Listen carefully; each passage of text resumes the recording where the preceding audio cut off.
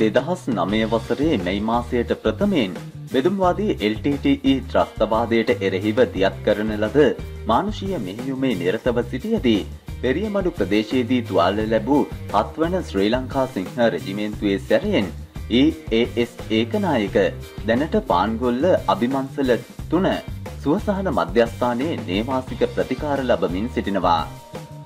ඔහුගේ ජීවන ගමන් මගේ නව පිටුවක් පෙරලමින් විවාහ ගිවිසගත් අතර එහි විවාහ මංගලෝත්සවය විසි හතර වන දින අඹේපුස්ස ශ්‍රී ලංකා සිංහ රජිමේන්තු මධ්‍යස්ථානයේදී පවත්වා තිබුණා.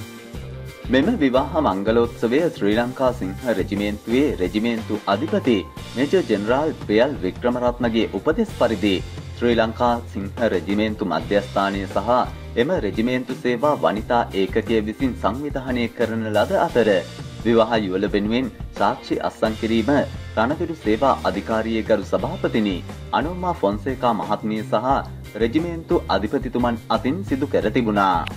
තම මනාලිය වන ඉහළ මාබුල මදුමී ලංකා හේමමාලී මෙනවිය මෙම රණවිරුවාගේ ආබාධිත තත්වයද නොසලකමින් පසුගිය වසර දෙකක කාලය තුළ ආදරයෙන් බැඳී තිබෙනවා.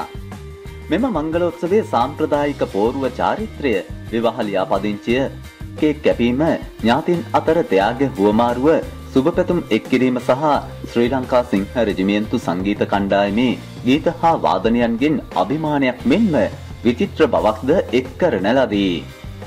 මෙම අවස්ථාව සඳහා සම්භාවනීය අමුත්තන් වශයෙන් රණවිරු සේවා අධිකාරිය ගරු සභාපතිනි අනෝමා ෆොන්සේකා මහත්මිය සිංහ රෙජිමේන්තු සේවා වනිතා ඒකකයේ ගරු සභාපතිනි සුජීවා වික්‍රමරත්න මහත්මිය සමගින් සිංහ රෙජිමේන්තු අධිපති මේජර් ජෙනරාල් ප්‍රියල් වික්‍රමරත්න එක් වුණා.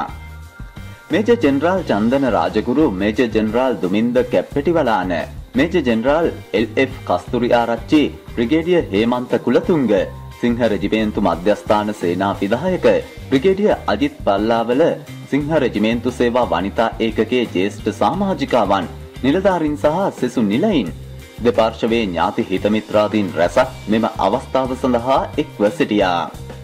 දිනපතා අලුත්ම පුවත් දැනගැනීමට පහත බටන් එක කලික් කර අපව සබස්ක්‍රයිබ් කරන්න. ඒ වගේම කුඩා සීනුව එබුවොත් අලුත් වීඩියෝ දාපු ගමන් ඔබට දැනගන්නටත් පුළුවන්.